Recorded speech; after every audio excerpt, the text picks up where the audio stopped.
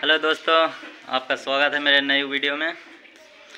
देखिए, ट्रैक्टर है नया जो खरीदाने के बाद आ जा रहा है चलने, खेत में।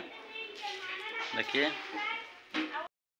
के बाद ढेर दिन खड़ा रहने के कारण इसका बैटरी डिस्चार्ज हो गया था तो चार्ज होकर आया है और कस रहे हैं।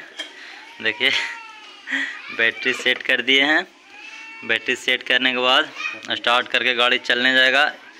ये लोग दोनों हैं, जीविका के मेन एक हैं कपिल प्रसाद जी वीआरपी और एक हैं सुनील प्रसाद। कोची हैं? एस ई डब्ल्यू सेट होगा ट्रैक्टर, पहला दिन जाएगा चलने के लिए।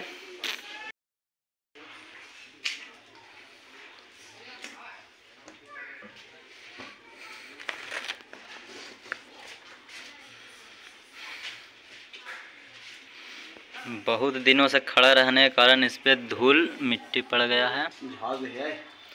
आज गाड़ी अच्छा से वॉशिंग वॉशिंग होकर चलने जाएगा।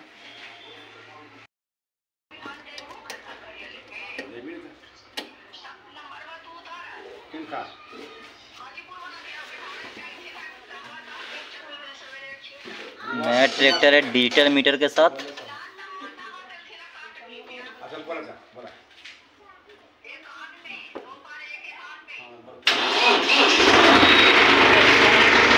गाड़ी स्टार्ट हो गई है अब हमें इसे ले जाने के लिए आगे सबसे पहले हमको जो मैं गाड़ी चलाता हूँ, बोलोरो।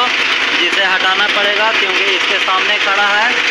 अब मैं इसे हटाता हूँ आगे से तो ट्रैक्टर निकलेगी, फिर धुला उला के जाएगा चलने के लिए।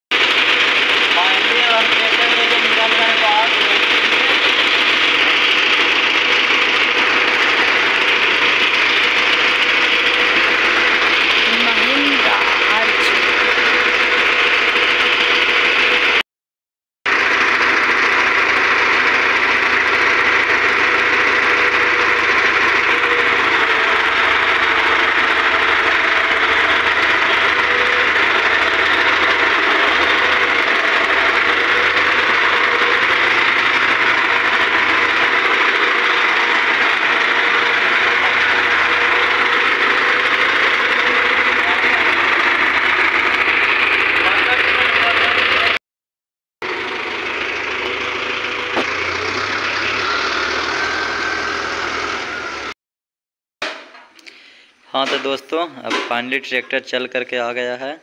लेकिन चलने के दरमियान इसमें एक एक कमियाँ दिखी है, जो मैं आपको दिखाता हूँ। इसका जो रोटावेटर है, वो दूसरे किस्म का है, जिसमें बहुत सारे मिट्टियाँ लग जाती है। देखिए, ये सिर्फ़ बालू के खेत के लिए अच्छा है रोटावेटर, जिसे हम लोग रोटरी फार बोलते हैं। इसका न्यू डिज़ाइन का रोटावेटर था जो सिर्फ़ ढेर सारे मिट्टी लपेट के ले आया है। यही एक कमी लगा चलने के बाद।